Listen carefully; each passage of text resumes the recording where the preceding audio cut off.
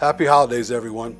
As we bring 2023 to a close, I'd like to take a few minutes to thank all of our customers, employees, families, vendors, partners for all the effort and commitment that you've made to help Congruex have a successful 2023.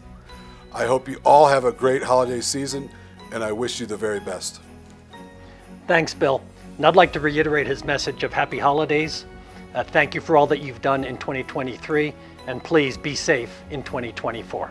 I'm looking forward to the partnership that we've built over the years with our customers and together, working together, I know that we're going to be able to help connect more communities and the opportunity now is in front of us more than it's ever been before. Our industry impacts every single one of us and each of our families as we sit around the dinner table. That's what excites me about being here because I can go home and I can talk to my kids, I can talk to my parents, I can talk to my neighbors about what we do.